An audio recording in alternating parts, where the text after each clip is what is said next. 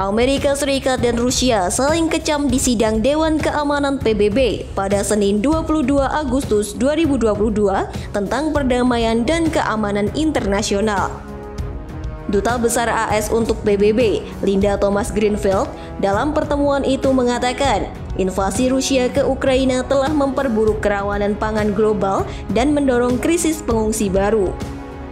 Sementara itu, Duta Besar Rusia untuk PBB, Vasily Nebenzia, memperingatkan tatanan dunia baru sedang terbentuk dan akan menolak contoh standar yang ada di negara-negara barat.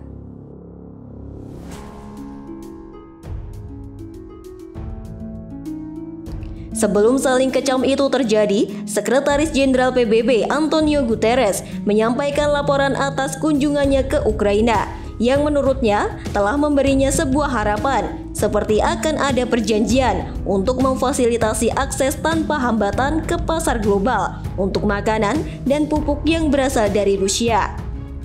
Guterres juga menyatakan rencana komprehensif ini sangat penting bagi warga dan negara yang paling rentan yang sangat bergantung pada pasokan pangan ini.